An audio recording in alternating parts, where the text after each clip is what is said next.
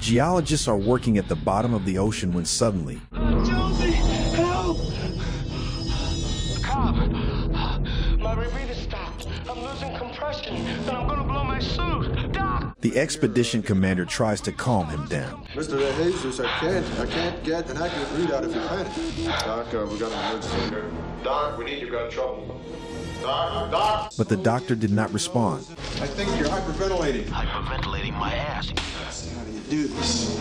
He's gonna blow. No, it's not gonna blow. The situation becomes critical while the geologists lead the distressed partner to the underwater submarine. Open the damn door.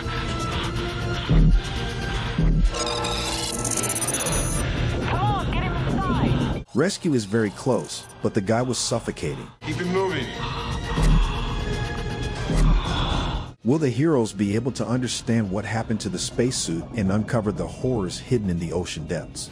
The expedition's leader is named Steven Beck, and he is terribly worried about his injured subordinate named DeJesu. The unconscious guy is lifted onto the submarine in an elevator. Beck rushes to examine DeJesu. Fortunately, the guy starts breathing.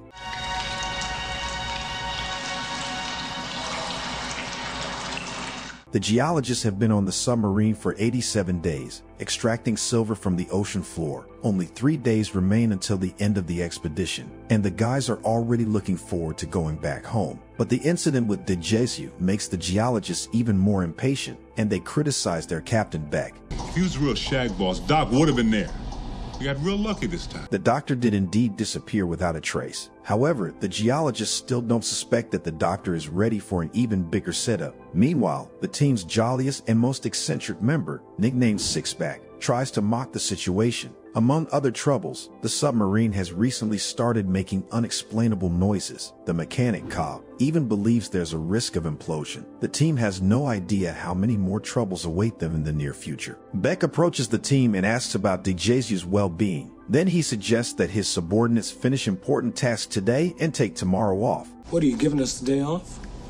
Looks that way. Beck wants to relieve tension within the team and set a more friendly atmosphere. Everyone agrees. Suddenly, there's an announcement about the disappearance of Dr. Thompson. He behaves as if nothing is wrong and even jokes about not wanting to fulfill his duties. Beck tries to reprimand him, but the doctor only disrespects him. It seems that no one on the submarine takes the commander seriously. However, the team still doesn't realize what Beck is capable of in a critical situation. In the evening, a team member nicknamed Willie inspects the spacesuits to fix any possible malfunctions. The others are also keeping themselves busy. The doctor treats DeJesu and mechanic Cobb fixes the ventilation system using its chewing gum. How the hell you do that? You don't say anything to anybody. Job security. Hey, let's go. Willie inspects Sixpack's spacesuit when suddenly a sea spider jumps on her. The guy deliberately placed it there to play a prank on Willie. However, she doesn't appreciate the joke very much. Meanwhile, Beck contacts the ground command. The boss is satisfied with him and the amount of silver they've extracted, but Beck would like to return to the surface as soon as possible and never work on underwater expeditions again. After work, the team gathers in the recreation room. Suddenly, they hear an unpleasant creaking sound coming from the submarine.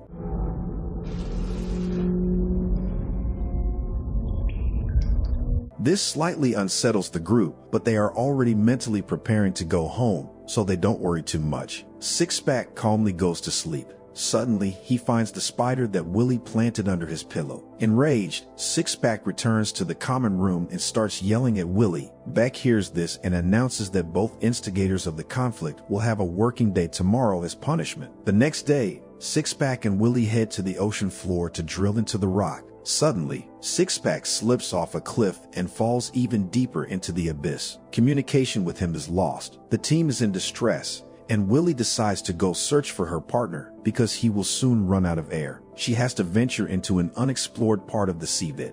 Bowman, what's the self-contained air capacity of that suit? 30 minutes. Suddenly, Willie notices a massive wrecked ship at the bottom. Its name, Leviathan, is written in Russian letters. She's scared, but she decides to go inside the ship. Meanwhile, Stuart Booman investigates the Leviathan ship through the base and learns that officially the vessel is located in the Baltic Sea. It seems that the Russian authorities are concealing the tragedy that happened to the ship. Maybe a ship sinks and they don't notice it's missing. Beck gives Willie one minute to search for Sixpack.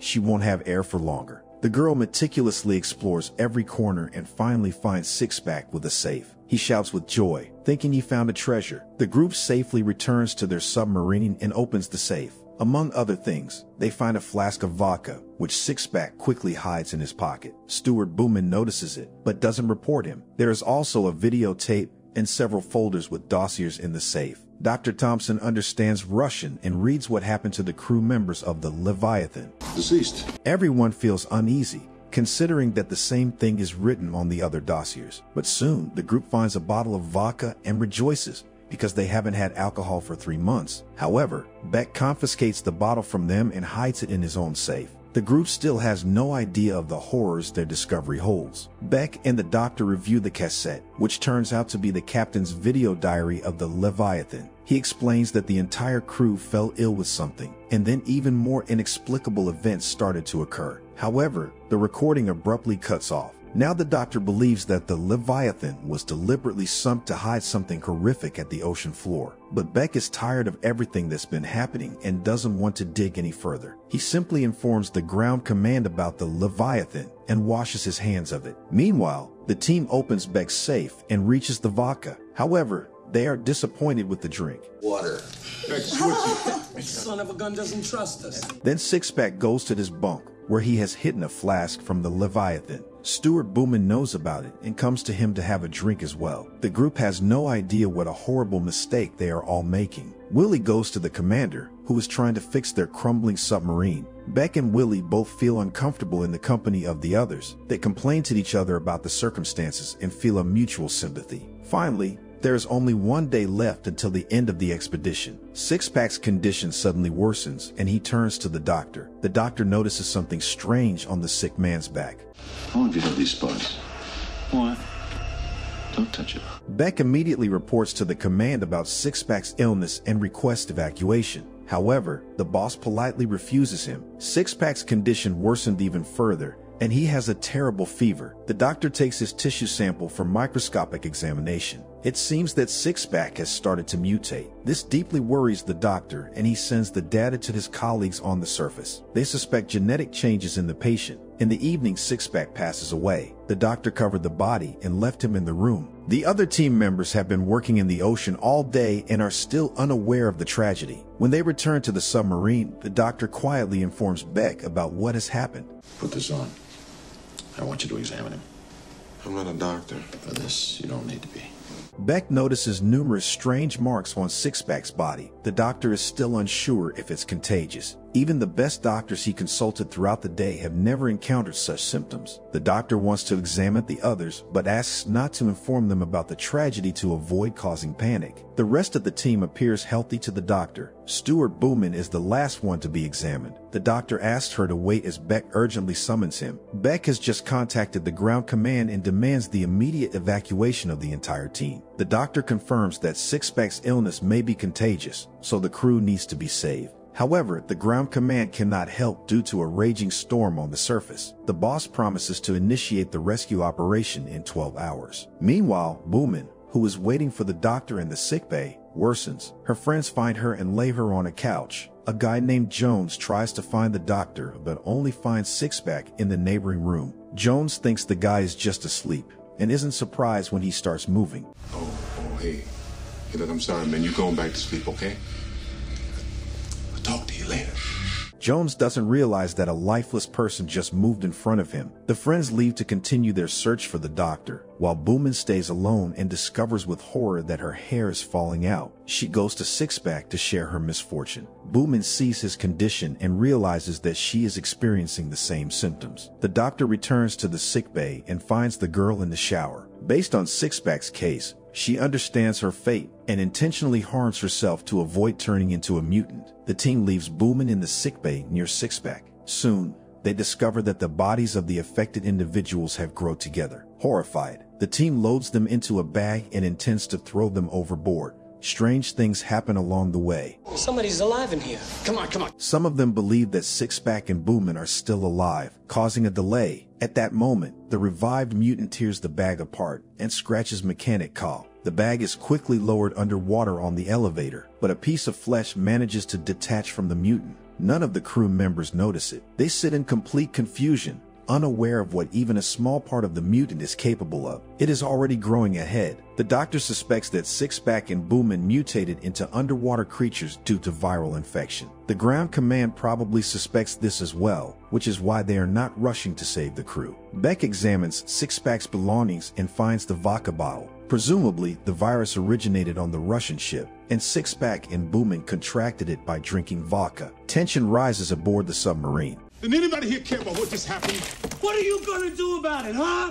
To distract themselves from the grim thoughts, the guys decide to have a snack. While the Jizup searches for food in the cabinets, a piece of the mutant attacks him. Having become independent, De Jizu clings to the wires and cuts them off. Then, with his last bit of strength, he rushes towards Jones and pleads for help. In confusion, Jones locks De Jizu in the galley and runs to find the doctor. While no one is around, De Jizu mutates, breaks down the galley door, and escapes. Due to the severed wires on the ship, electrical problems arise, but there's no time to fix them. Everyone sets off in search of the mutant. The crew arms themselves with whatever is at hand. Even signal flares and flamethrowers come into play. In the sickbay, it becomes apparent that the mutant has found a source of sustenance. It's growing.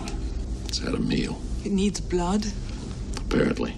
There's no point in staying silent anymore, and the doctor and Beck reveal that the entire crew of the Leviathan has apparently mutated into underwater creatures. That's why the Russians deliberately sank the ship to protect themselves. The healthy geologists have a chance to resurface in evacuation capsules. However, according to the ground command's information, a storm is raging on the surface, so the crew decides to fight the mutants underwater, waiting for the storm to calm down so they can be rescued. Beck sacrifices his red liquid to lure the mutants into the mess hall and destroy them there. Armed with flamethrowers, Jones and Beck embark on the mission. The rest of the team waits for them. Suddenly, Cobb, who was previously scratched by a mutant, worsened in condition. This itches like hell.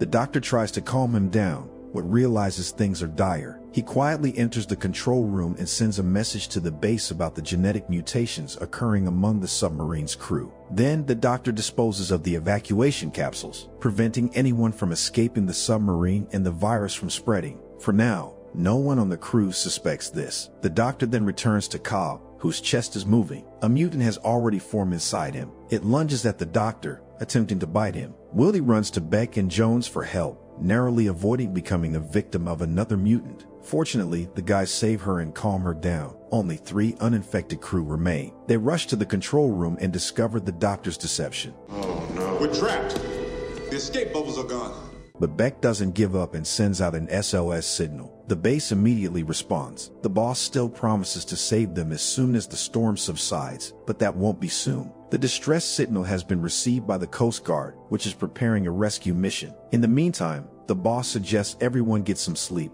to which the crew reacts aggressively since sleeping under these conditions is impossible. Moreover, no one believes that the base actually intends to rescue them. After the call, Beck tries to check the weather forecast, but access is blocked. This means there is no storm on the surface, and the command is simply messing with their heads. The news already reports that the entire geology team aboard the submarine has passed away. At the same time, another unpleasant event unfolds. Emergency warning. Countdown to implosion. The submarine had ventilation problems for a while, and now the access to air is blocked, and the ship will explode in 10 minutes. The friends want to fix the issue without getting caught by the mutant, but the creature finds them. The friends run away, shooting flamethrowers at it, but the doors along the corridor start shutting down, and the submarine gradually falls apart. While Jones holds the door with all his strength, Beck tries to rescue Willie, who fell off the bridge. The girl is saved, but Beck is grabbed by an approaching mutant. By a miracle, he manages to reach a saw and fend off the enemy. There are only four minutes left before the implosion. The friends rush to the place where they can put on their diving suits and escape from the submarine. Beck comes up with a way to resurface without using the evacuation capsules. How we gonna get to the surface? Like this. Ratio, we'll float to the top like a balloon. Then Beck helps his subordinates put on their diving suits and sends them into the ocean. The commander himself still has to confront a suddenly appearing mutant.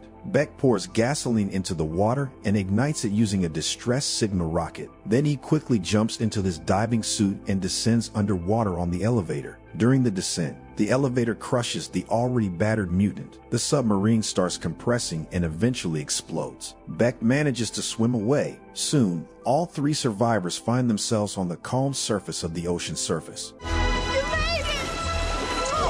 A Coast Guard helicopter flies nearby. The friends see it and launch a distress signal rocket. The rescuers need to hurry because the sharks are already surrounding the friends. However, the sharks turn out to be not the biggest danger. A massive underwater mutant emerges to the surface and grabs Jones. The helicopter has already landed on the water, but Beck doesn't rush to get on board. First, he wants to save his friend, but poor Jones cannot be saved anymore. Then Beck decides to seek revenge and throws the last distress signal rocket into the mutant's mouth. The creature explodes and Beck grabs the rescue rope and flies away with the helicopter. The only survivors, Beck and Willie, disembark at the helicopter base and walk away, embracing each other. On their way, they encounter the boss from the ground control station. She pretends to be concerned, but Beck slaps her and happily walks away. Do you believe in underwater monsters in unknown parts of the ocean? Share your thoughts in the comments, give us a like, and subscribe to the channel. See you in the next videos.